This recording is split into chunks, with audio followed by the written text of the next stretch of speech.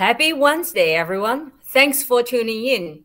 Uh, this is Unbounded, brought to you by Deloitte Unlimited Reality. My name is Francis Yu, and I'm the general manager for our Unlimited business, um, and otherwise known as the uh, Metaverse business. So you might ask, why Unbounded? Because shaping the future is pretty hard. And what's harder is challenging our own assumptions and unbounding what we thought things should be done. So joining me today, I have three colleagues joining me today. Jessica. Jessica Kosmowski, and I have the pleasure of leading Deloitte's TMT business, which I affectionately call our tech, media, telecom, entertainment, and sports business. Thanks for having me. And this is uh, Nitin uh, Mittal, and I lead our AI business in Deloitte. And I am very much looking forward to this discussion with respect to the unlimited uh, promise that the metaverse represents, as well as the mixed reality world that we live in today.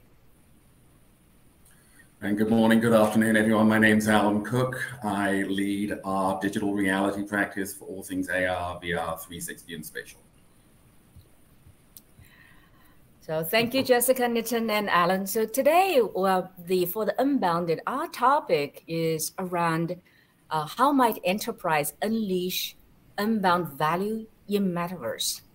Now, metaverse is a 50-year-old term and has gained so much discussion attention uh, today. Now, why is it today? Why is that, right? So today, our first, we're going to have three topics today. The first topic is all about unpacking why now. The second topic is around where to play.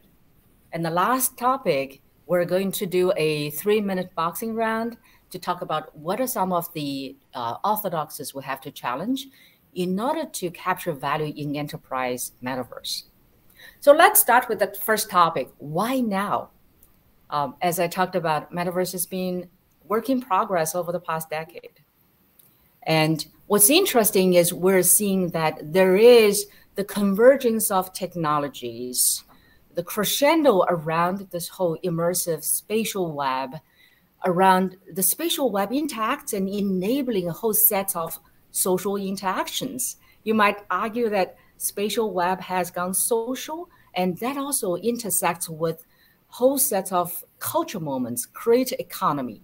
And a lot of that really starts with the uh, media, entertainment, uh, technology business, uh, telecom business, think about 5G, etc. So, Jessica, you being an insider of the Silicon Valley, you being the leader who leads this um, um, portfolio of business for us. So, can you just help our listeners, our viewers today to unpack a bit uh, what's happening and what's real around this whole thing called enterprise metaverse. Absolutely. Thank you, Francis. As I look through this domain through the lens of my role, there has never been a more exciting time in my career. We're essentially looking at the next evolution of the internet. And these kinds of changes happen once in a generation, changing the industry structure and creating new leaders every aspect of tech, media, and telecom ecosystem is in for a major change in the next few years. There's an opportunity for so many things. There's an opportunity for tremendous innovation in every area. Media companies will need to develop new business models, engage consumers with new content and virtual experiences. Products and services will be reimagined at every layer of the technology stacks, from apps to consumer hardware to sensors to dev platforms, and the integration of centralized and decentralized architectures. Further, the evolution of 5G means that many of these immersive experiences can actually be enjoyed with great fidelity to every consumer at last mile limitations, as last mile limitations get to get addressed with high bandwidth and edge architectures, delivering high performance applications to end consumers on demand. This will significantly aid the adoption of metaverse use cases and create new revenue streams for telcos and beyond. The TMT industry is not just going to change in and of itself, but it will also be a huge enabler for all industries in realizing the value of the metaverse. Now that's a lot of optimism, a lot of hope, right? Um, I love it.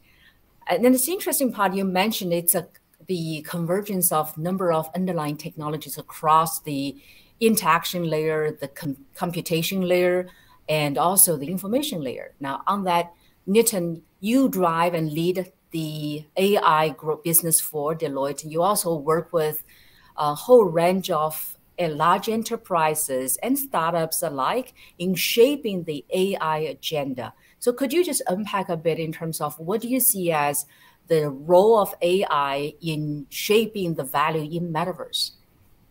Yeah, no, absolutely. And uh, frankly, the key is what uh, Jessica and you kind of uh, outlined. The key is that we are actually seeing a convergence of technologies, whether it is AI meets a graphical processing unit or GPU semiconductor chip, meets a AR VR uh, that uh, frankly has progressed uh, over the period of time, meets a blockchain as well as the proliferation of cryptocurrencies and now NFTs. There's a lot of basically such kind of technologies that have been uh, converging, which um, have given the rise as well as uh, the possibility of the advancements that could be made in an immersive world. But specifically, how are clients thinking about it? How are they basically kind of contemplating their progress uh, with respect to the metaverse? And then the role of AI in that context. What I would sort of highlight is three possibilities. One is in the context of B2C, where businesses are engaging consumers. The second is in the context of B2B, in terms of how organizations think about the application of AI in the metaverse for themselves as an enterprise. And the third is in the context of B2E, which is uh, with respect to how do businesses create the environment uh, for their own employees. When it comes to kind of the world of B2C, we are absolutely seeing the advent of virtual commerce, social commerce, as well as uh, um, the virtual possibilities as it relates to either sporting events, as it relates to concerts, as it relates to entertainment. And much of it, frankly, has been propelled by the industry that Jessica actually leads. That is kind of where we see the buzz right now. And frankly, that is where the media's attention and uh, perhaps uh, people's attention is. The second possibility is with respect to B2B. How do organizations apply AI in a virtual world for themselves. This is the world of sophisticated simulation. Simulating a physical environment, a science accurate physical environment, whether it is basically kind of simulating the test track for autonomous vehicles, whether it is simulating, for example, investments that energy companies may be looking for as they transition from fossil fuel to green energy, simulating the home healthcare experience that uh, healthcare providers and care providers around the world are trying to kind of make progress on. Simulating the physical world before you actually make investments in the world and consequently advance your aspirations. The third possibility is for your employees. Mm. Employees are the lifeblood of an organization, the talent, the skill set, the passion that they actually kind of represent. Thinking about how you could create an immersive learning environment for them. What is going to be the culture and the form and nature of human connectivity in a immersive world, aka a metaverse?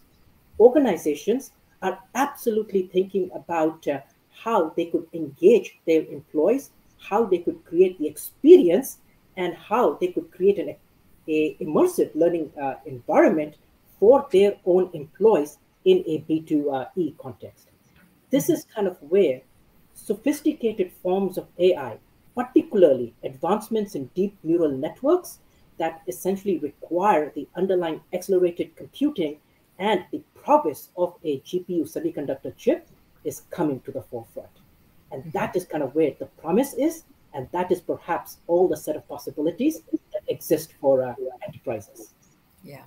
Nitin, I really love how you framed up as the B2C, B2B, and B2E. And really, the, what you highlighted in terms of the talent aspect is so significant.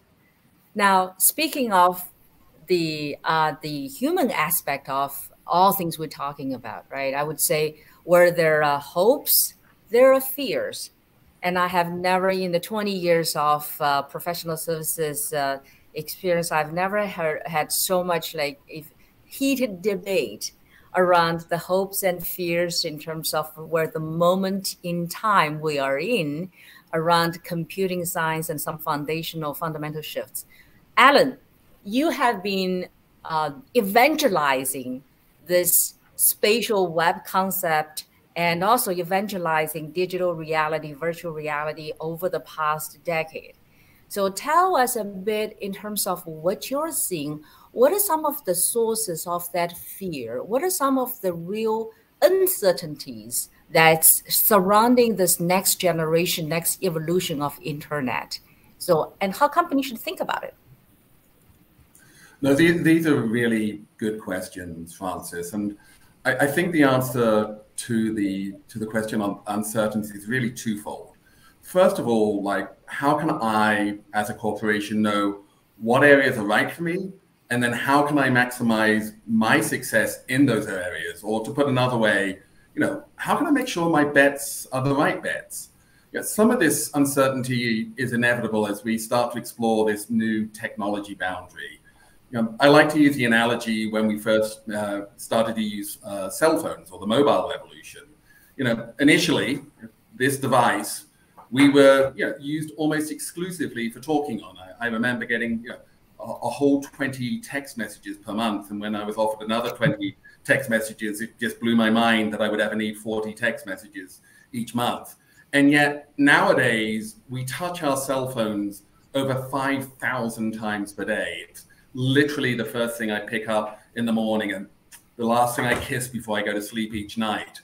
You know, and whilst I still occasionally use it for talking on, it's actually not its primary usage nowadays.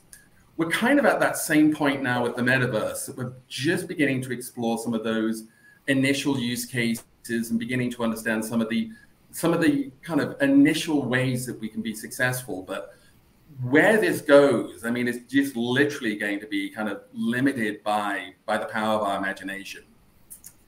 The second area I feel around kind of the fears and unsound uncertainties is this kind of like to quote a famous movie line, you know, with great power comes great responsibility.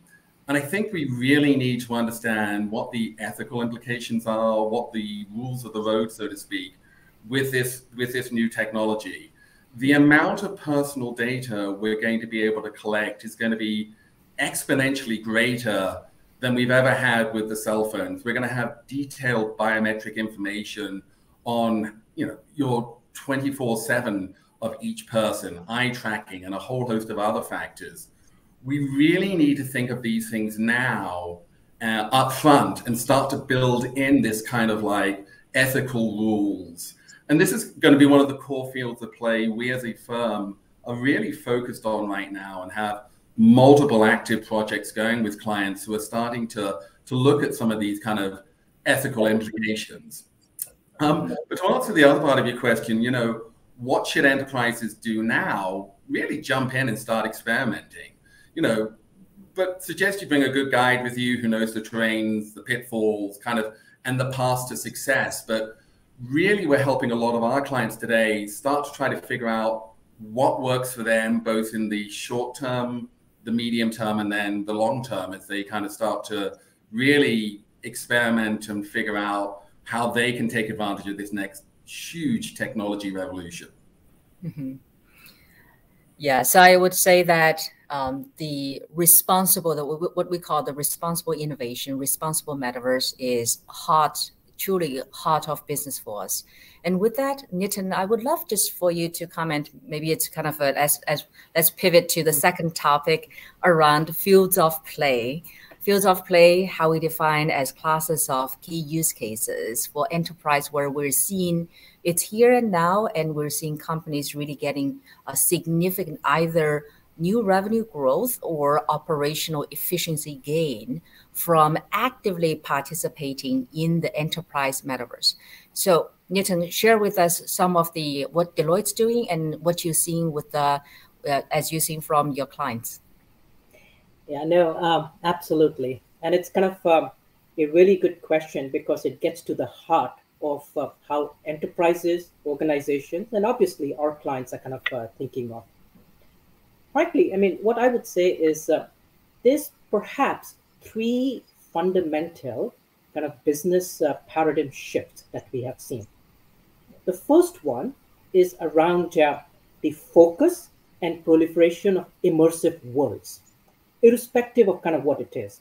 More and more organizations, and frankly, even we as humanity, are getting uh, uh, familiar with as well as comfortable with immersive worlds we can perhaps credit uh, our own uh, children who sort of got comfortable with it first in an online gaming world, but it's now sort of coming into the world of enterprises and uh, business itself. That's kind of one shift. The second shift is this concept of intelligent operations. It is no longer sufficient to, does, to just digitize operations. We have been implementing packages whether those are ERP packages, whether those are customer relationship packages, whether those are basically kind of finance or supply chain or HR kind of packages. We have been implementing these packages for digitizing business operations. Now we are bringing basically kind of AI and machine learning capabilities to bear to not only digitize, but to essentially cognitize these processes. Mm. And the essence of cognitizing these processes is to introduce a level of intelligence to make them smart business processes and smart operations. That's the second paradigm shift that is kind of taking place. The third is this concept of investable goods. The fact that uh, social commerce is progressing. You take um, a country like China as an example, as well as uh, South Korea, Japan, and kind of other uh, let's say, kind of countries in uh, East uh, Asia in particular, we have actually seen, frankly, how social commerce has been advancing in those societies. And now it's kind of happening in the Western world too. This concept of basically social commerce, this concept of kind of getting comfortable with uh, every good is investable, whether it is in the physical world or whether it is in the virtual world. You sort of take those paradigm shifts that are taking place with respect to immersive worlds, with respect to smart, intelligent operations, with respect to investable goods, it is frankly creating a very broad field of play uh, with respect to the metaverse. What are those fields of play? One is around this concept of X reality. Reality could be in a physical world, reality could be in a hybrid world, reality could be in a virtual world. Reality now transcends just the physicality and the location that we are in. That is kind of one uh, aspect. You take, for example, uh, sporting events that uh, we um, all basically kind of love and participate. Those sporting events are both physical as well as you are going to start seeing those sporting events in a virtual world you will basically kind of see experiences with respect to either the Olympics or any other major event, whether it happens to be kind of the football or the soccer World Cup, depending on kind of which part of the world is and what phrase you use. Those events are going to be both in a physical kind of uh, reality as well as in a virtual reality.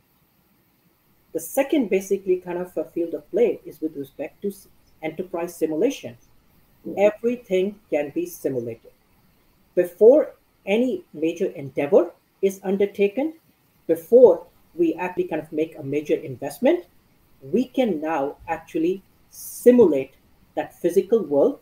We can simulate the impact of that investment, and we can essentially kind of test out our hypothesis before we actually undertake the actual initiative. A great example of it, frankly, is uh, playing out in Victoria, in uh, Australia, where that particular kind of state government, as working in concert with private players, has essentially adva- has been advancing the cause of how to bring simulation into bear with respect to traffic flow, traffic pattern, as well as uh, how to basically kind of emergency, uh, uh, uh, emergency responders actually kind of um, respond to a particular event that may have taken place. Uh, how can they get to basically that particular uh, uh, spot or a uh, emergency kind of location in a much faster way than perhaps they had been in the past. They're looking at uh, ways of optimizing the route. They're looking at ways of accelerating the time, and they're looking at ways enhancing the experience uh, associated with how the emergency responders come into play that's an example of actually simulating the physical reality and kind of optimizing the physical world and the responsiveness and the experience that is created. Another field of play is with respect to virtual goods and ventures. Um, there is uh, news that we would have all kind of read around the first digital sneaker that was launched by Nike. That was not by hapstance, that was by design it's a recognition of basically this uh, paradigm shift that I talked about with respect to investable goods. Um, you not only have a physical sneaker, but you also basically can invest as a person in a digital sneaker that can then be worn by your avatar from one gaming platform to another. That is just the tip of the iceberg in terms of what the virtual goods, virtual commerce, and virtual ventures would look like. The next one is with respect to uh, how we work, how we learn, how we absorb, and how we experience the workplace. I talked about it a little bit in the context of uh, the B2E experience that is being uh, created. But immersive learning is going to be a big trend. All of us essentially learn and absorb and understand uh, in different contexts, at different rates, and in different settings. There's no basically kind of one formula.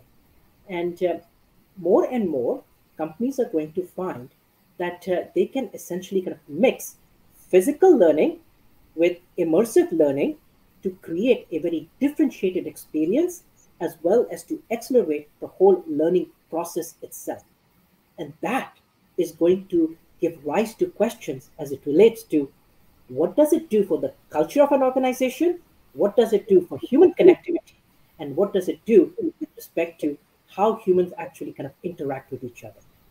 Mm-hmm. And then finally, the fifth uh, field of play that I would kind of uh, highlight, which is perhaps absolutely critical because it underpins everything that I kind of uh, outlined, and perhaps was also the essence of what Alan uh, outlined, which is trust and resilience. We've got to have trust in how the data is going to be used. Who has access to the data?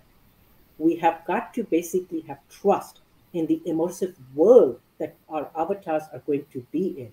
We've got to have trust in the simulation, and the systems need to be resilient enough because if we are going to make a bet with respect to kind of virtual worlds, that bet needs to pay off in the physical world itself. Mm-hmm. Trust and resilience is the underpinning and the foundation on which basically the whole house stands. And we need this to be a robust house, not a house of cards. So that is, that is kind of what I would uh, highlight, uh, Francis, as to the broad swath of field of play that is in front of us. Right, as of the five fields of play, and those are pretty exciting spaces. Now, I kind of, as I was thinking about the fields of play, it's interesting that um, Jessica, the uh, you the, the portfolio that you lead across tech, media, telecom, and sports. So you're both on the supply side and also on the demand side in the industry. So share with us a bit in terms of what you've seen across those fields of play uh, from your clients. Thank you, Francis and Nitin. Amazing work breaking it down into those five areas. Trust me, we don't want to have a house of cards. So, an unlimited reality can't just immerse you in a digital world. For reality to be truly unlimited, it must be bidirectional. Feeding the digital world with signals from the natural world to simulate infinitely more complex scenarios that produce actionable results. Unlimited Reality and Dimension 10 Studios are going to use digital twins to enhance our cities, our homes, and even our bodies. So, what is a digital twin? A digital twin is a living replica of a physical environment. In its optimal state, it lives and breathes just as its real world counterpart.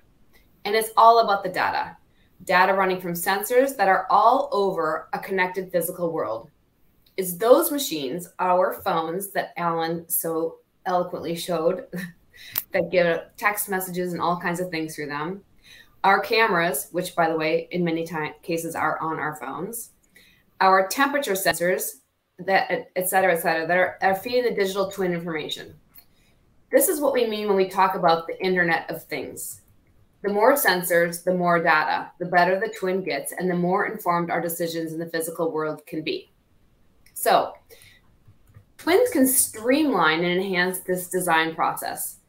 They create time and space for more design iterations and speed to production by removing cycles of prototyping testing. Digital twins are being used today, to explore space, optimize manufacturing systems, generate renewable energy more effectively, and even undertake patient surgery more safely. And they are about to get even better. Why, you might ask? Because with a digital twin, engineers can build 3D simulations that incorporate data in real time to determine and modify product specs with more precision much earlier in the design process, while handling exponentially more variations and constraints. The next generation of digital twins will help engineers identify potential manufacturing, quality, and durability issues, all before the designs are finalized. It accelerates prototyping and moves products into production more efficiently and at a lower cost. Ultimately, though, leveraging the potential of futuristic industrial manufacturing requires pulling this powerful idea out of the factory and into every aspect of our world, helping humans more effectively and beneficially traverse vir virtual and physical realities. Can digital twins really make organizations smarter? We believe they can because at the end of the day, the digital twin will help people make more informed decisions to create and use products and services more efficiently and effectively. Deloitte, through the Unlimited Reality practice and partnerships with NVIDIA and the Omniverse platform, is creating digital twins that will proactively guide us, protect us from harm, and help us to use our most vital and increasingly threatened resources more efficiently. I'm going to talk to you about two different ways that we're using digital twins, and we're challenging our people and our partners to find hundreds more. Mm. Let's start with an easy one smart factories. Smart factories are not new, but here's how we're accelerating the concepts of digital twins within them to help solve real business challenges, like increasing capacity and predicting maintenance, not just improving product design. Deloitte has a smart factory in Wichita, and it's helping businesses see next generation solutions. During the pandemic, as demand for services grew exponentially for one of our clients, a large logistics provider, they called on the smart factory to help them create more capacity without additional facilities or infrastructure. So, again, more capacity with the same facilities and infrastructure that they already had. The solution was we put together a pilot project that incorporates IoT sensors to help predict maintenance failure, failures before they happen and ensure reliable and on time deliveries. This facility was operating 24 by 7, which reduced the opportunity for routine, ma- routine, maintenance activities um, and led to unplanned downtime for emergency maintenance. The downtime left several hundred million dollars on the table and negatively impacted service delivery. By leveraging IoT and edge computing to fuel the digital twin, Deloitte was able to help reduce unplanned downtime by identifying likely machine failures before they occurred. So again, figuring out when something was going to go wrong and making it not go wrong is all about the digital twin ma magic here. IoT sensors add massive amounts of data into algorithms that alert workers to potential problems such as excessive loads, overheating of equipment, or packages that are coming apart and then could lead to emergency maintenance. Following the successful pilot project, the idea is to scale the program across all the facilities. This impact is massive. Once scaled up, this client will unlock 5% of capacity across nearly 50 automated facilities and save hundreds of millions annually. With maintenance issues minimized, they are also able to provide better service to customers despite the pandemic and labor shortages. So it's not just a bottom line impact, but it's also a top line impact because they increase customer um, customer loyalty, which is really incredibly important. This is just one example of the ways a digital twin can lead to new businesses and help align people, processes, and assets in a human centered approach to smart manufacturing. And it will in deliver improvements in performance, safety, and workforce transformation. Nitin talked about Australia and what they're doing to unlock this value. We just talked about smart factories and what they're doing to unlock value. Let's now turn to something maybe more sexy or closer to all of us. Let's talk about the digital twins that take that go from 0 to 60 as we move into a physical world with autonomous things that move, like cars. Cars without human drivers. We're using digital twins to help train these cars. Unlimited Reality is currently at work to make cars safer and more reliable while speeding up the learning process for autonomous vehicles. It's a continuation of the partnership with Formula One Racing on pioneering simulation techniques that allow users to set up scenarios in the digital world to move more safely and quickly test how cars react in various circumstances. Again, it all goes back to data. A huge challenge for autonomous vehicles is the amount of data that flows to and from the cloud and built in edge components and sensors. They must receive, integrate, and learn in order to make critical decisions in real time in response to their environments.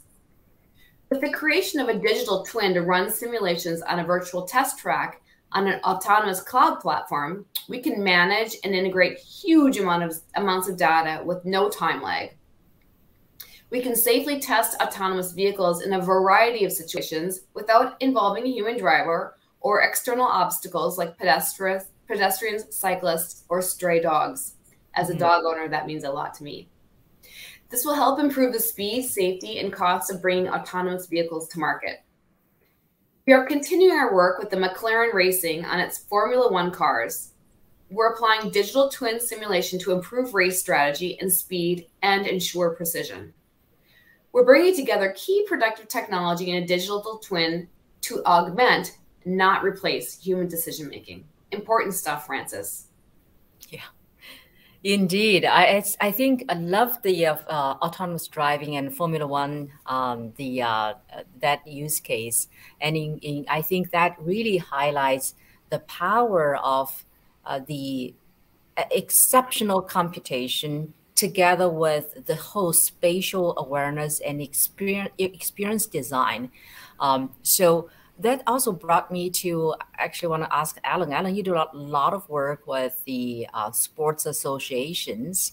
Uh, to the extent possible, perhaps you can share a little bit in terms of how that experience part of the equation come to help with the professional league in terms of how they improve not only their own the skills, but also how they improve the fan engagement. No, absolutely. This is actually one of the pieces of work I think we we in the digital reality practice have been most proud of. Um, the specific example I'd like to talk about is the work we've been doing with the US Golf Association. For the last four or five years, we've been building out virtual reality and augmented reality experiences to really enhance both the experience for the fans at the events, but also for fans all over the world to be able to participate in a whole new way. Um, the AR app that we create builds out a mini metaverse for each one of the golf courses. And then you get to see each one of the players in real time hit the ball live across that uh, golf course in, in 360 and 3D and see exactly where the ball lands onto the golf course. Um, so it enables the viewer to not only see their kind of big 2D screen on the wall for zooming in on uh, a particular player, but I get to track whoever I want to on the golf course. And then I get to be the director and producer and watch the game how I want to watch the game. So if I've got a particular player that I'm a big fan of, I can watch that player. Or if I'm like, you know, want to cheer for the, the British guy or the British woman, in my case, I can again go down and see that individual playing. Um, we're particularly proud because last year we were the working with USGA the first time ever we brought an augmented reality experience to a major women's sporting event by not only doing the 18 holes at for the US Open at Torrey Pines, but also for the US Women's Open at the Olympic Club in San Francisco. And this year, not only are we going to be building out 18 holes again for the men's event at the Country Club in Boston, but also for the women's event at um, at Pine Needles down in North Carolina. So this is kind of like a whole new way. We're you know we're a top five app. I think last year we had over 360,000 holes watched over the course of the weekend in 3D. So this is just a, a whole new way to be able to watch sports.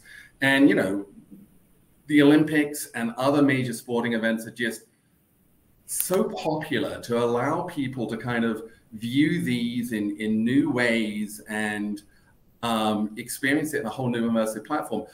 Today, we're using our, our, our, smartphones and we're using you know tablet devices, but in the future, it's going to be AR glasses that we're going to be able to watch this and see this 360 experience, literally where we can see the players running around.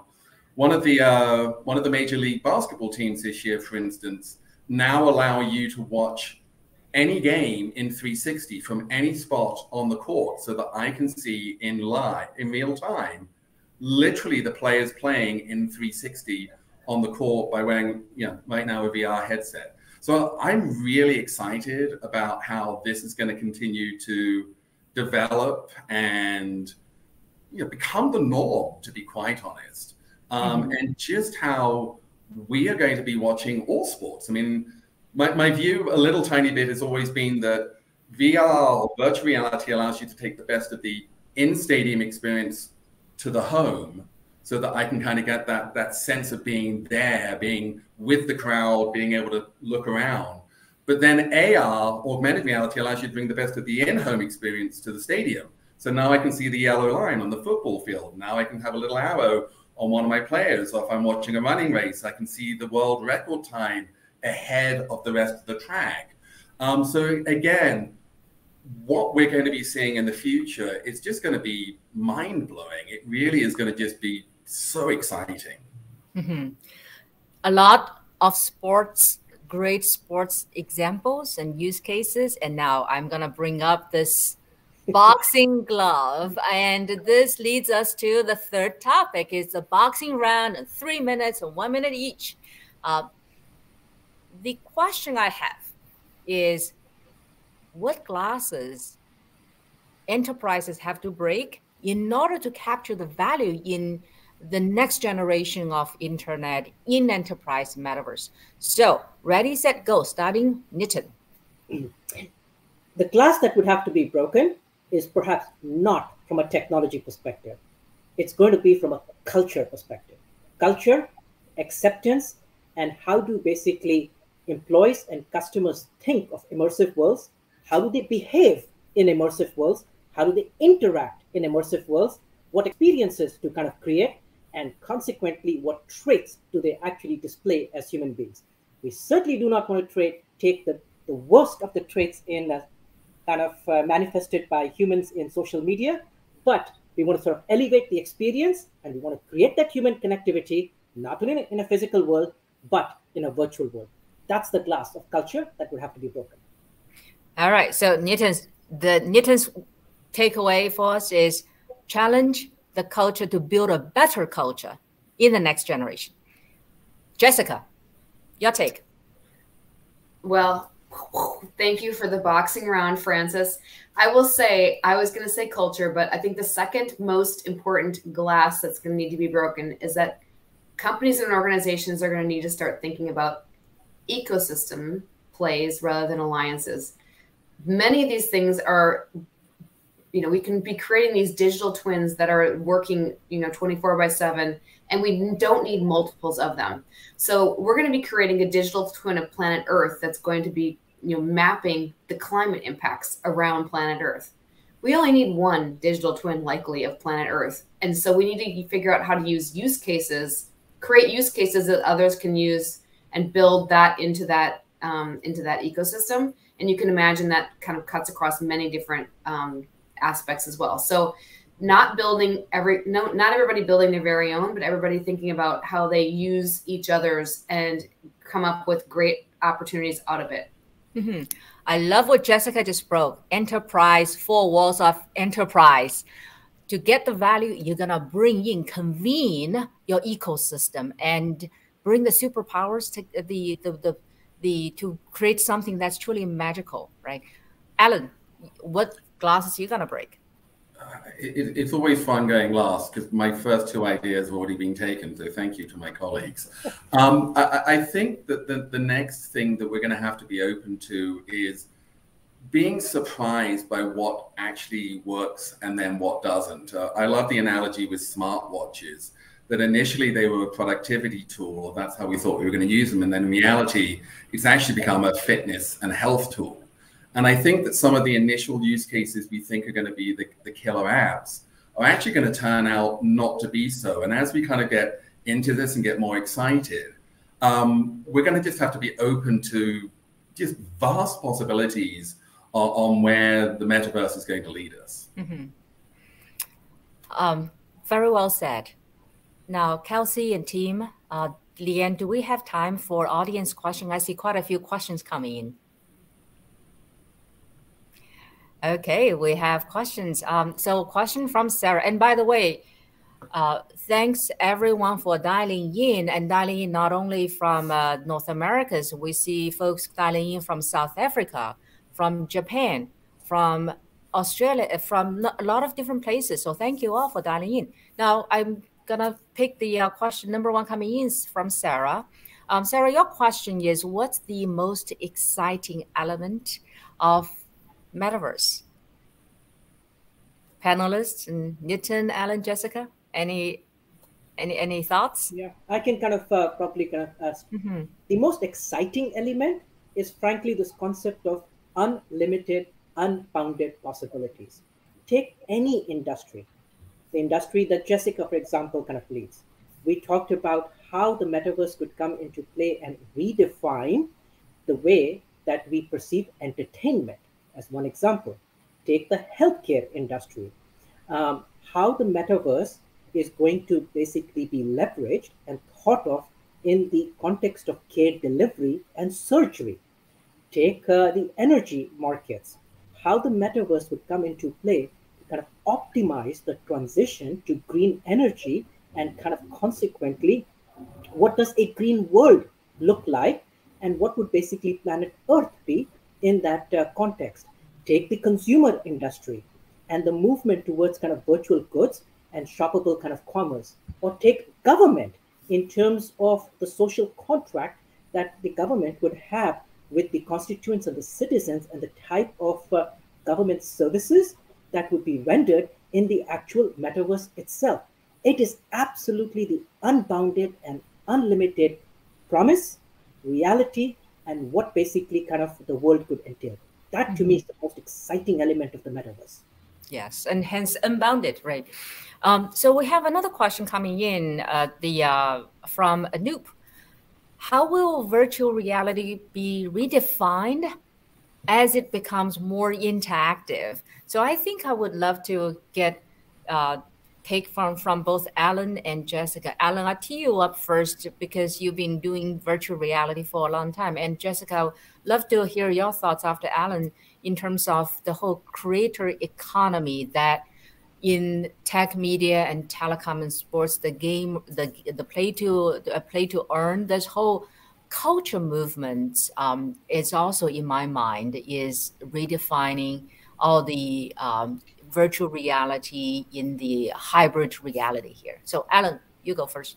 I, I think it's twofold. Firstly, kind of we look at the consumer world, this idea that we're going to move into a ready player one like experience, you know, wearing haptic gloves or haptic suits and being on running treadmills that are going to allow us to be in these amazingly kind of complex, immersive, you know, experiences. And so I think that that's exciting, and I think that's going to be really just mind blowing. But from a enterprise point of view, I mean, we're already doing things like um, helping companies to deal with this silver tsunami that is coming in, where you know you've got a massive exodus of knowledge as the baby boomers walk through the system, and so trying to take that real detailed, comprehensive learning experience and pass it down to the next generations. We're working with a whole host of like power and utility companies to really train up the next generation in a totally new immersive way with virtual reality. And you know, first of all, we take the folks who are kind of at the tail and maturing out of their career, get them to really show us what it is that they do, and then you know have the more junior folks learn that. I mean, you know, with power companies, you touch the wrong thing, you get blown across the room, and you've got a singed hand. So some of these things are incredibly important, and I think that you know that type of immersive technology and that type of virtual reality will just become more and more normal. Um, we at Deloitte have, you know, made a large um, investment in buying VR headsets to do onboarding and training ourselves at this point. So we're starting to, you know, eat our own dog food, so to speak, or drink our own champagne, I guess I'd rather say, um, so that we're actually like, you know, putting our money where our mouth is and starting to learn and use VR, yeah, every day, really, to be quite honest. And Alan, taking that to the next level, Francis, you asked me to talk about the creator economy. The creator economy, we could do another an entire session on the creator economy, of course. But the creator economy is democratizing knowledge in a new way and in a more interactive way. And so as creator economy comes together with virtual reality, comes together with IoT and all the things around us, really it is the entree, it is an entree into Web 3.0 or 3, Web 3. I'm been told to never say Web 3.0, so I'll have to cut my tongue off after that one. But the concept of web, you know, creator economy is democratizing content coming in. Virtual reality is going to make it richer over time, and it will continue to be the you know vanguard to to drive into Web 3. So, Francis, that is an entire topic. I think we should save that for another day. We absolutely will, and there's a whole the uh, exciting culture moment to unpack. And uh, what's more exciting is technology enable the culture moment, the behavioral shifts, and how people and society interact. Right. All right. Now, I really appreciate our panelists for your insights. I also appreciate the interaction from uh, the uh, from uh, friends and colleagues and, and also from uh, listeners, uh, viewers today from all different countries. Um, I would also say that this is only the beginning of the dialogue. Uh, we launched this Unbounded as a series and series so that we can share from our lens, from our experiences, and more importantly, we wanted to hear from you in terms of what you see. What are some of the big questions that collectively it's worth pursuing, and what are some of the hopes and fears that you see? Right now, just a little plug for the next Unbounded. We're going to do a topic that's pretty cool. It's called "To NFT or Not to." So hopefully, uh, send us your questions to NFT or not to. Thanks, everyone. And thanks, Jessica, Nitin, Alan, and the whole crew. Thank you.